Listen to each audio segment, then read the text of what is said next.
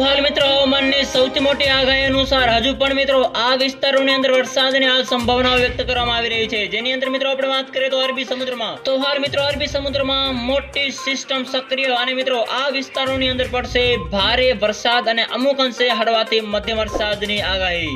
આ ઉપરાંત મિત્રો બે સિસ્ટમો બની રહી છે અને સાથે સાથે ચોમાસાની વિદાને લઈને પણ એક સૌથી અગત્યના સમાચાર પણ સામે આવી રહ્યા છે. અને સાથે સાથે મંડાણીનો વરસાદ જે છે એ કડાકા ભડાકા સાથે વીજળીના કડાકા ભડાકા સાથે જોવા મળી શકે છે.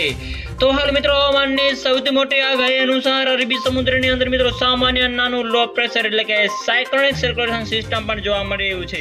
જે હાલ મિત્રો એક્ટિવ થઈને તે અરબી સમુદ્રથી કેરળ સુધી અને સાથે સાથે તે ધીમે ધીમે આગળ પણ વધી શકે છે અને આ લો પ્રેશરની અસરના ભાગરૂપે તેનો ટ્રફની આપણે વાત કરીએ તો મુંબઈ, મહારાષ્ટ્ર, ગોવા સુધી પહોંચી શકે છે અને ત્યારબાદની આપણે વાત કરીએ તો ગુજરાતમાં પણ તેની અસર જોવા મળી શકે છે એવું હાલ અમારું અનુમાન લગાવવામાં આવી રહ્યું છે. આ સાથે સાથે મિત્રો મંડળીનો વરસાદ જે છે એ થંડરસ્ટોમ સાથે એટલે કે વીજળીના કડાકા ભડાકા સાથે પણ વરસાદની આગાહી વ્યક્ત કરવામાં આવી રહી છે.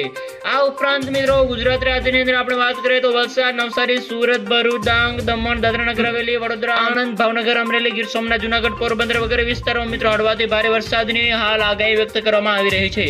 આ ઉપરાંત મિત્રો નવરાત્રીના શરૂઆતના દિવસોમાં જ મિત્રો દક્ષિણ ગુજરાત અને અમુક અંશે સૌરાષ્ટ્રના કોઈ કંઈક વિસ્તારોની અંદર વરસાદ પડી શકે છે એવું હાલ અમારું અનુમાન લગાવવામાં આવી રહ્યું છે. મિત્રો, સાત તારીખથી વરસાદની સંભાવનાઓ વ્યક્ત કરવામાં આવી રહી છે.